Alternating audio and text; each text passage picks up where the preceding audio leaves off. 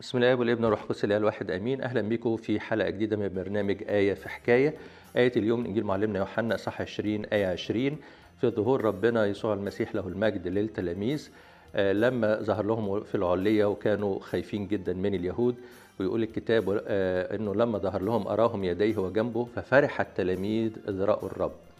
وربنا آه، في قيامته عالج كل ضعفاتنا البشرية وكل مخاوفنا. ففي أربع حاجات مشهورة قوي ربنا عالجها بعد القيامة. عالج الخوف عند التلاميذ عالج الحزن عند مريم المجدلية عالج ال- ال- الشعور بالذنب عند القديس بطرس الرسول وعالج الإحساس باليأس عند تلميذي عمواس هنا التلاميذ كانوا خايفين من اليهود الخوف كان مليهم وربنا لما ظهر ليهم يقول الكتاب المقدس فرح التلاميذ إذ رأوا الرب.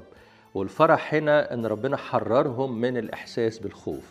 ودي من أعظم عطايا القيامة إن ربنا حرر البشرية كلها من الخوف. ودي من الحاجات اللي اعتمد عليها القديس اثناسيوس الرسولي لما قال إيه هو إثبات القيامة؟ إثبات القيامة في المسيحيين. ما بقوش يخافوا من الموت ولا يخافوا من الشياطين ولا يخافوا من العالم ولا يخافوا من المرض ولا يخافوا من أي شيء. كون إن الإنسان المسيحي يبقى عنده آه، آه، التحرر من الخوف وإن الإنسان يبقى قوي جدا من الداخل بالمسيح وبقيامة المسيح فده دليل قوي على القيامة. كمان موضوع الحزن يعني مريم المجدلية كانت مليانة حزن ولما ربنا ظهر ليها انطلقت وراحت بشرت التلاميذ والحزن كله راح لما شافت المسيح له المجد. وده بيورينا بنشوف في القداس الإلهي كل قداس عبارة عن آه، قيامة كل افخارستي عبارة عن قيامة نقول هذا هو اليوم الذي صنعه الرب. فكنا بنحضر قداس أي لو عند إحنا عندنا أحزان اوجاع أتعاب كلها بتروح ويطلع الإنسان من القداس فرحان جدا زي ما بيقول الأب كان في نهاية القداس فمنا امتلأ فرحا ولساننا تهليلا كمان الشعور بالذنب القديس بطرس الرسول كان متضايق جدا إن هو أنكر المسيح ثلاث مرات.